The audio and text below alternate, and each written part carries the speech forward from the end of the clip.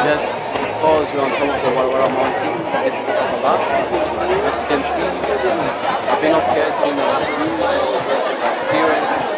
Coming here is not really easy. It takes a lot, lot, lot more strength. You have to use all your strength. Very hectic. But at the same time, you see a lot of people. We have thousands of people on top of this mountain. They are all here to have to meet friends, time, Charlie, I can say. You see lost friends, long-time friends that we haven't seen before.